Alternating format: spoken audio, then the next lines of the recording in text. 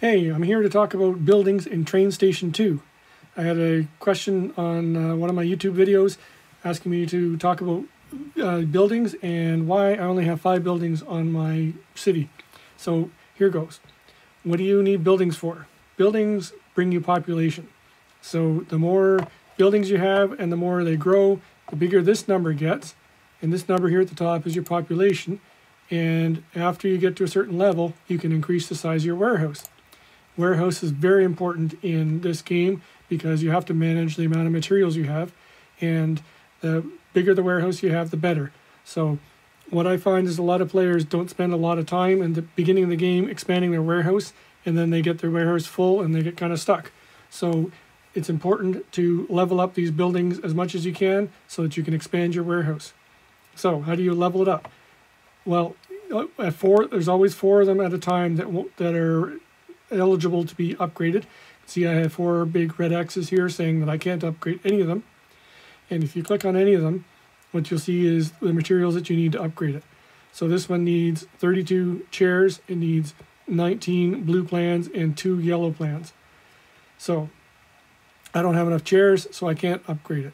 Now, the other things to see here is I could spend four gems to upgrade it. Really don't do that. Not a good use of gems. And this thing here tells me that I'm at level two in this Christmas Palace. And if when I upgrade, I'm going to get five more population. So that's what it tells me, five more population if I do this upgrade. All right, and then I'll click on the X here. So plans is another thing we'll talk about might as well talk about it now. There are three different kinds of plans, and you'll see them here. There's blue, yellow, and red, and you'll see that I have a lot of yellow, quite a few red, and hardly any blue. Most people are the same way in this game. You end up with not very many blue, and you're always starving for blue. How do you get more plans? Well, um, one way is to for the ship when it comes down here at the dock. If you manage to get Captain Greedy the all the materials that he wants, you get you usually get some plans. And uh, so that's what the main way of getting plans. And then if you're in events, you can get plans. So for example, we're currently in the Global Logistics Challenge. And if you look at the rewards track here, you can see there's blue plans here that I've already got. There's yellow plans here that I already got. And you keep going, there's some more reds.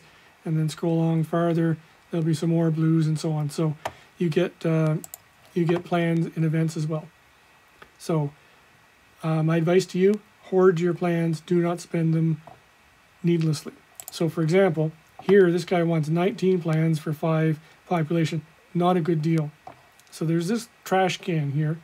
You can use this trash can to basically say, I don't want to do this job. Throw it away and give me another one. So let's look at all my other jobs that it wants me to do.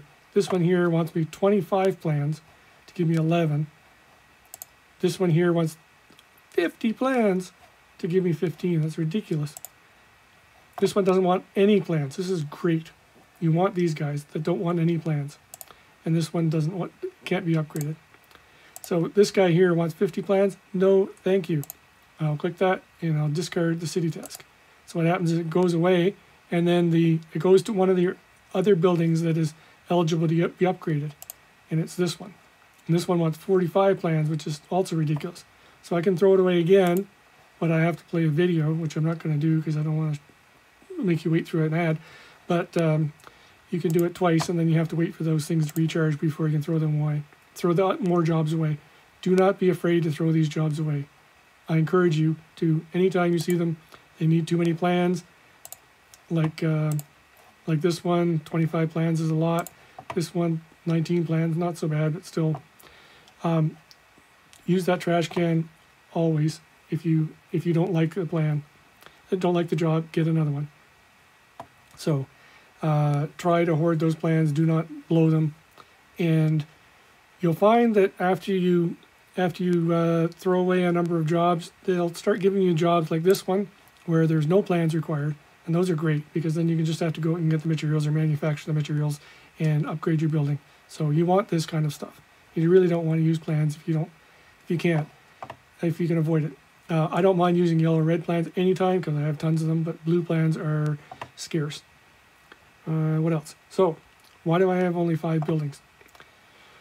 Well, uh, there's a theory on the Train Station 2 info sharing Facebook group about the five, five building rule.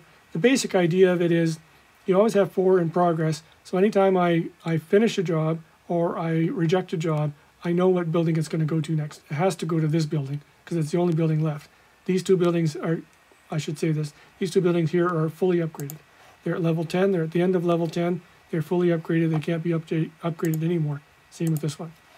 Level 10, they gave me 1290 population, cannot do any more, anything more with them, so I don't mind leaving them on the map because uh, they can't be upgraded anymore. But here, if I finish one of these four jobs, this guy is going to be the next one. So anytime I want to trade him out, for example, I say, oh, level 8, maybe I want to put him away. I hit this one over here. He goes into the goes into the, the bag, and I can pull another one out of inventory here in the building shop. So say I want to pick out a low level one. Let's scroll along here, here, see if I can find a nice low level one. Uh, how about this guy, Business Center? I'll take him out and I'll place him right here. So now he'll be the next one to be upgraded. And um, what I like to do is I like to have a mix of low and high level buildings. I don't really have any low level buildings anymore, to be honest. But like level four is about the lowest I have. So, um, but I try to have a mix of them because the low level ones are uh, easier to upgrade. And that's why I have the five building plans because I know I can concentrate on just a few buildings to upgrade them quickly. And it seems the game seems to encourage you to do that and give you. Maybe it's uh, maybe it's just uh, superstitious, but it seems like it's easier to upgrade when there's only five. So that's why I do it. I always know which ones are going to be upgraded. And I don't have to keep hunting all over also for who, who's the next one to be upgraded. They're always right here. Um, the other thing I'll mention is that there are three types of buildings. There's a basic building, advanced building, and a superior building. So a basic building. These are basic buildings, like a decorative park, uh, a school, condominium, and shopping center. Those are basic buildings. You don't. Each level does it gives you the lowest number of population. So, for example, this one here at level 10 is 1290 for a basic. Uh, advanced level 10 is 2214, so almost twice as much population. And a superior level 10 is 3382, almost triple uh, basic. So for example, this one here is a business center. It's a, it's a, uh, hmm, I don't know what that is. I guess that's an advanced. At a 380, that is a superior building. So that's a superior building. This one here is luxury apartments. That is an advanced building. So I'm at level 10. It's going to give me 2214 when it's finished. I'm almost done. Uh, just this one, and then you can see there's just a little bit sliver left. A couple more upgrades, and that one's done. Um, this one here, a car dealership, is uh, a, a, superior building. And it's level 8, it's already at 1881. So at level 8, it is has way more population than these guys, these basic buildings are that are done. So the that's uh, the three types of buildings. Any event buildings you get are going to be superiors, like the Eiffel Tower and stuff like that. They're all they're all uh, superior buildings. So that's uh, a lightning introduction to buildings. Um, I encourage you to spend time upgrading these. And in fact, I would encourage you a lot of times to not worry too much about upgrading your level. Spend some time upgrading these instead. So uh, I'm in my game when I started out, I was grinding experience points and trying to level up as much as I can, uh, and kind of overran my warehouse capacity. So I encourage you to take your time up leveling up, and instead spend time growing these guys so that you can make your warehouse bigger and bigger. It's like my warehouse right now at level 517 or whatever I'm at is 7800. So I rarely run out of space. I have a huge warehouse. There's people who have bigger warehouses than me for sure, but I, I hardly ever run out of space. I have lots of space, so I can keep hundreds of these guys around and, uh, and uh, not really run out of space. One more thing, a little tip, nothing to do with buildings, but another tip to for warehouses.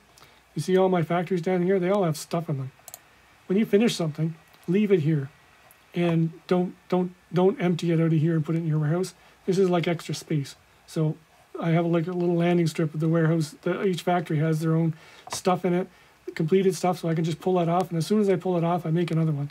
And then that way I keep all these things ready so that when I get a job and it needs uh, 200 couches, or 500 couches. You know, I've already got I've got 232 in my warehouse, but I've got another 240 right here. So I have almost 500 couches on hand. So this is a really good tip. Do not empty these things out. Leave them here. Keep them out of your warehouse so you have more space in your warehouse for raw materials. That's about it. Um, hope this helps you play the game. I'm going to get back to playing the event here because I got a bunch of trains sitting around doing nothing and that's no good. So thanks for watching and uh, like my video, leave a comment, tell me how you liked it, and uh, have fun playing the game.